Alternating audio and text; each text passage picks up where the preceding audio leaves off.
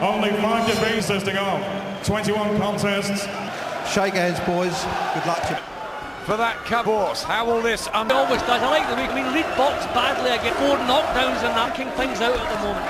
long career? He's adapted his style. Hot shots every chance he gets. Six inch reach for the top. Look for the uppercut too. Yeah. Look at this. The And moment he's looking, you can see he's looking. He's not been reckless with. His mind's on this job, okay. Edge. Terrific display of power. Illiterate. But uh, certainly didn't perforate him. We- He'll just be hoping that eventually find him. There, there he goes. Ace. Trying to wait for the counter. Froch closing the ring. He, he's picking his shot to get control of the action. He's command to place. So they're not maybe sh- The end of the seventh. That, that Project is pulling away from the punch. He's losing sight of where they're coming in at this stage. He's using unique, perfect timing. Right hand for Froch. And Reid is hurt by that. Bundle to the floor. What about this? They'll be perfectly happy. And there's a good solid right hand shot there. You saw it just catching him above the Ten ear. That could have been called a knockdown. That was the first shot, then there was a more solid one. That, that really could have been. Defend his British title. He's got the look. Win in this very session, hoping to move. Mandatory champion holder. Um, uh, which is a, he really has to, is to allow him to get To work with uh, better now. from Carl Froch and Robin Reid shakes. And I it's think Dave Parris wants it to catch fire. It's just a little bit untidy at the moment. This is better from Froch now. All the body, good jab as well, solid. Once was. Uh, at just have a good look at it. Find out what's going to what other better Crotch, not just sing. Froch before. Too many single punch, blowing them together. Testing the will and the stamina. Left hook uh, from Reid. He needed that because he really is struggling at the moment Down he goes. Crumpled in the corner. to avoid the, the following punches. He wasn't really caught with a solid shot. That was a glancing blow uh, behind the ear. But there wasn't really a solid shot landed.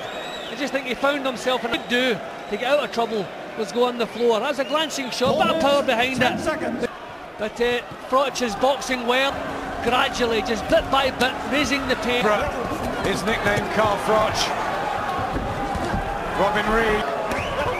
A try, but it out-punched him in composure. And Looking at two men at different stages, he took it well. oh, magic. Turns 30. Great amateur too. But that reach, that jab is the timing to slip punches, he's having to block them, and the power even them off balance. So there's no power in his counters. A good left up. Reid came into the ring around the getting down to the 12th. Over the other That's exactly what his corner will be screaming about when he goes back, because every from punches with his left hand down. When he moves forward, he doesn't give Reid the room. Froch, there up as well. He nods to it. Run Right from Robin Reid, and again he goes for it, and Froch is backed up. occasions in the previous round. He's Same job to do again now, get Reid back under control. round in the very ring. The action now which suits Robin Reid. Good job from Reid. The task a lot more. As well under the left eye of Froch.